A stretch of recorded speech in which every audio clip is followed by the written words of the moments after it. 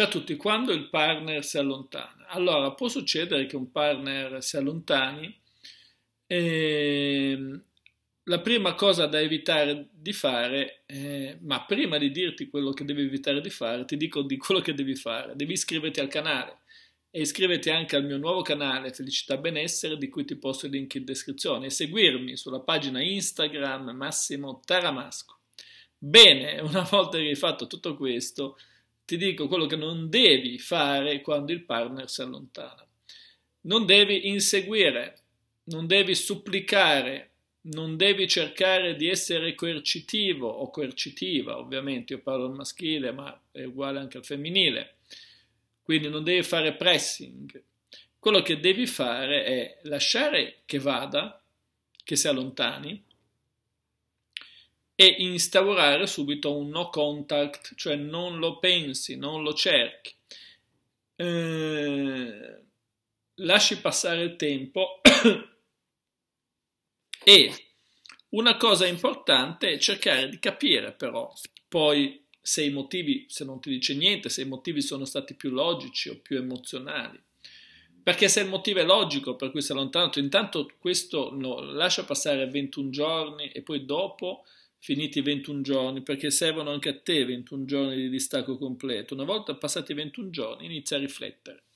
Se, se non si rimanifesta, insomma, per capire poi un, un riaggancio come possa venire, per capire se si tratta di situazioni legate a fatti logico-razionali. Logico-razionali sono, non so, lui magari vuole un figlio e tu non puoi più averne perché è un'età in cui non può più averne. Faccio degli esempi, eh eh, oppure altri motivi logici, eh, magari si allontana perché capisce che sei povera, sei troppo ricca o sei povero, sei troppo ricco, non lo so, insomma i motivi logici possono essere infiniti. Se si tratta solo di un motivo logico va tamponato, cioè devi trovare qualcuno che lo ristrutturi, che gli dica una persona di cui si fida, che gli dica guarda che nonostante che però è la persona giusta per te, però deve dirlo qualcuno che si fida. Se no lui deve farsi questo ragionamento vedendo un tuo comportamento diverso, insomma devi cercare di tamponare questa cosa. È evidente che, eh, è evidente che diciamo, se le persone non, eh, non fanno nulla, non fanno nulla,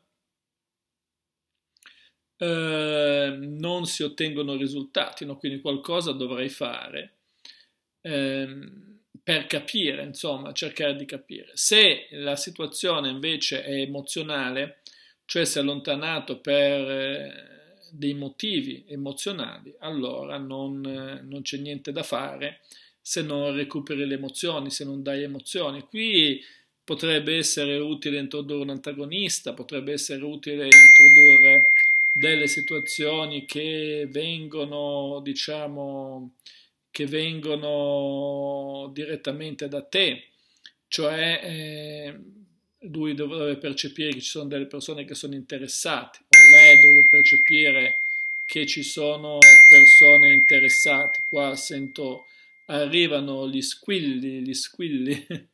Bene, comunque, questo è quello che bisogna fare fondamentalmente capire le motivazioni e cercare di o ristrutturare a livello logico-razionale o dare emozioni. Eh, questo è quello che devi fare, eh, però devi prima lasciare passare almeno un periodo di 21 giorni. Il riaggancio poi può avvenire passati 21 giorni, una volta che hai visto quali sono le motivazioni quello che hai visto tutto, si può fare, diciamo, inserendo una, mm, come dire, inserendo un messaggio civetta, un semplice ciao come stai per capire se è già giunto il momento e accetta un contatto oppure bisogna far passare altro tempo. Bene, per questo video è tutto, seguimi anche sulla pagina Instagram Massimo Teramasco, iscriviti al canale iscriviti anche al mio nuovo canale Felicità e Benessere. Ciao a tutti!